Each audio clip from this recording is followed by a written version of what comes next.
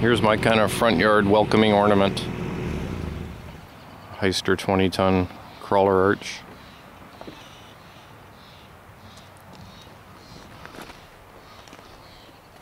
Nothing says welcome to my property like something out of the forest.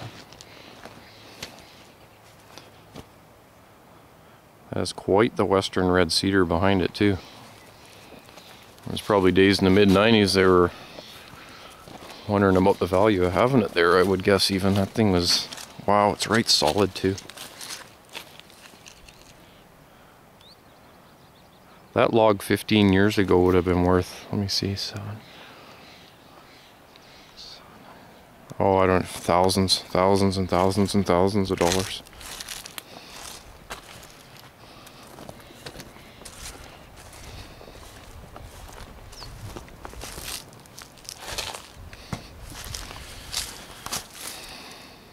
Cartco 20 ton crawler wheels.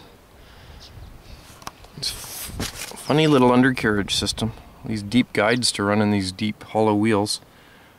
Guess with the deep these deep cogs there they'd stay in a lot better. These things would run over the worst of ground. The hitch, the knuckle on it.